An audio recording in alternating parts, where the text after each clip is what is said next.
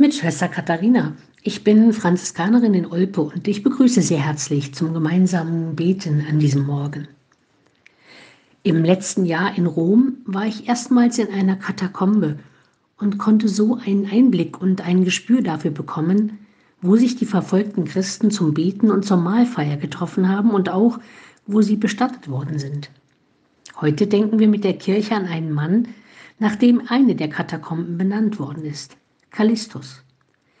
Als Sklave im vierten Jahrhundert geboren, musste er auch selbst als Sklave leben und unter härtesten Bedingungen an einem Bergwerk schuften. Viele seiner Mitgefangenen sind an diesem Los zerbrochen, er aber nicht. Man sagt, er sei durch dieses harte Los zu der Güte gekommen, die ihn später so ausgezeichnet hat. Nach seiner Begnadigung ist er zurückgekommen nach Rom und ist zum Diakon geweiht worden, wurde mit einer Aufgabe betraut, sich um die Katakomben, die Versammlungs- und Begräbnisstätten der Christen zu kümmern.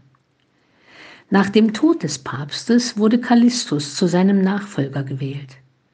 Vom Tellerwäscher zum Millionär würde man heute denken. Vom Sklaven zum Papst ist eine ziemlich göttliche Geschichte.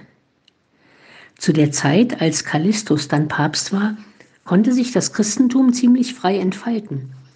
Dafür jedoch hatte es mit einer gefährlichen Irrlehre zu tun.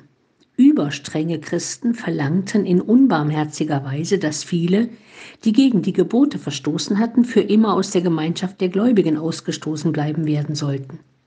Sie hatten offenbar keine Ahnung von eigentlichen Wesen des Christentums, das doch die Liebe ist. Es war eine unchristliche Härte, und in dieser Strenge lag natürlich auch ein ziemlich großer Hochmut. Dagegen ist Papst Callistus aufgetreten.